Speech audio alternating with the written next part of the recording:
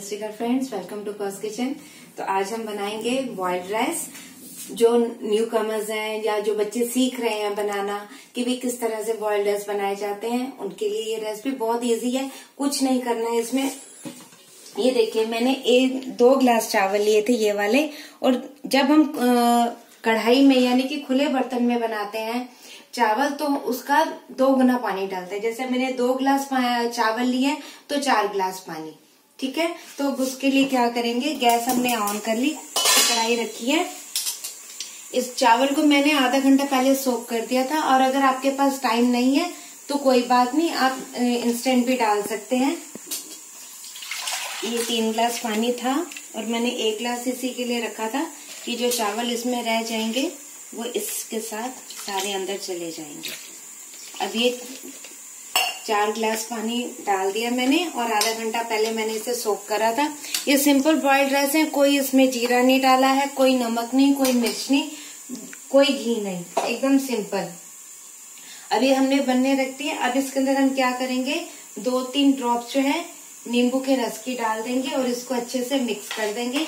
नींबू का रस डालने से एक तो ये होता है कि भी चावल का कलर अच्छा आता है चावल बनते बहुत अच्छे हैं और तीसरी बात कि दाना दाना खिलावा बनता है। अब क्या करना है देखिए, गैस हमारी फुल पर है, हमने ये चावल रख दिए हैं, अब हम इसके ऊपर पूरा ढक्कन दे देंगे। पूरा ढक्कन दे दिया हमने, अब बीच बीच में हम एक मिनट बाद या दो मिनट बाद हम इसको इस तरह से चेक करते रहेंगे।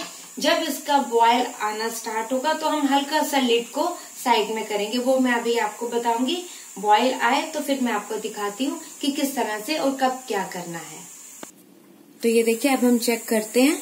ये देखिए, अब आप देख रहे हैं ना कि इसमें बॉयल आ रहा है। तो अब हम क्या करेंगे, यहाँ पर अब हम गैस के लो को थोड़ा फ्लेम को थोड़ा लो कर देंगे और इतना सा लिट को पीछे रखेंगे।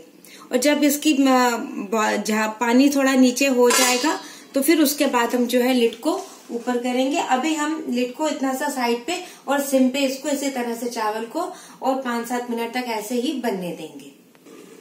देखिए, अब ये पानी जो है कम हो गया है और हमको चावल को बिल्कुल भी हिलाना नहीं है, जब तक चावल बन ना जाए। अभी इसके अंदर पानी है तो अब हम क्या करेंगे? अब हम इस पे पूरी लिड दे देंगे और दो मिनट तक इसको वापस चेक करेंगे इस तरह से स्पैचुला को बीच में करके। अगर तो पानी आता है तो इसका मतलब कि अभी चावल बने नहीं है। बस हमको ऐसे अच्छे से कड़छी नहीं मारनी इसमें, बस इस तरह से बीच में बस सिर्फ़ चेक करना है। और बन जाएँगे तब भी उसके पाँच मिनट तक इसको लेट दे के ऐसे ही रखते हैं।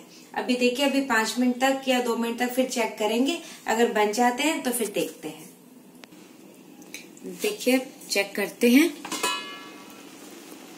हाँ अब ये चावल बिल्कुल बन गए हैं और इसी तरह से अब हम यहाँ पर अब गैस बंद कर देंगे और इसको अब मैं दो मिनट तक इसी तरह से ढक्कन लगा के रखूँगी और उसके बाद जब दो मिनट हो जाएँगे तो इसके लिड को इतना हटा दूँगी ताकि इसके अंदर की सारी स्टीम निकल जाए और फिर उसके बाद मैं चावल को डेलीकेसी से हिलाया जाता है हमेशा। दाल सब्ज़ी की तरह से नहीं, हमेशा चावल को डेलीकेसी से हिलाइएगा, परत बाय परत इस तरह से, लेयर बाय लेयर इसको हिलाते हैं, नहीं तो चावल टूट जाते हैं।